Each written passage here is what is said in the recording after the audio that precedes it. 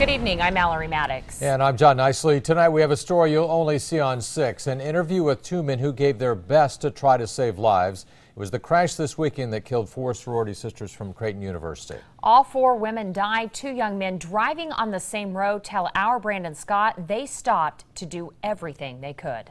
It's upsetting, hard to deal with, but just my thoughts are with their families. Matthew Shane and his friend Dustin Harris still can't fully comprehend the horrific tragedy they witnessed as they tried to save the lives of four Creighton University sorority sisters. They say the scene of Saturday night's accident was gruesome. It looked like something out of a horror movie. The men were driving on Highway 77 south of Beatrice, traveling from Kansas back to their homes in Iowa, when just a few hundred feet in front of them, the vehicle carrying the Creighton students encountered a deer, swerved into oncoming traffic, and was hit broadside by an SUV. Crazy, like it blew my mind how it just, the like it split it right down the middle. Like the back half of it was laying separate from the front half of it. Shane and Harris, along with two other passing motorists, rushed to help. One of the victims, 21 year old Jennifer Guzman, was trapped by her seatbelt. And I said, hey, we need to cut that seatbelt. So my friend got in there and he held her head up. I held the roof up and the guy got in there and cut the seatbelt and we let her down real slow. Finally freed from her seatbelt, Shane and Harris say Guzman took her final breath.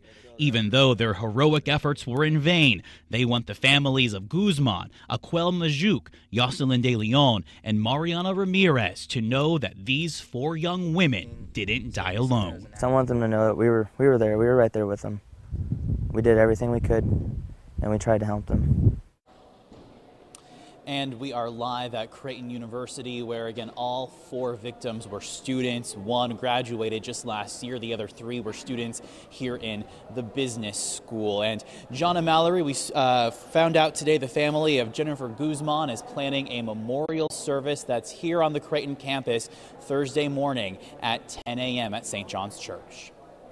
Yeah, Brandon, uh, such a tragic accident. And are they confident that it was a deer on the road that caused all of this?